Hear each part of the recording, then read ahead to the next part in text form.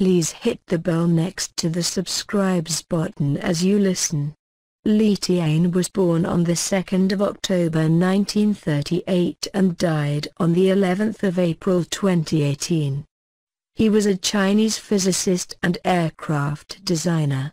An expert in aerodynamics for aeronautics, he served as chief scientist of the Shenyang Aircraft Corporation.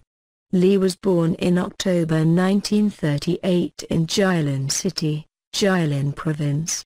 He graduated from Tsinghua University in 1963 with a degree in aerodynamics. Li was responsible for the aerodynamic projects when developing Shenyang J-8 and Shenyang J-11. He is known as one of the founders of Chinese stealth technology for aircraft. He improved fighter configurations and stealthy designs by combining electromagnetic scattering characteristics with aerodynamic theory.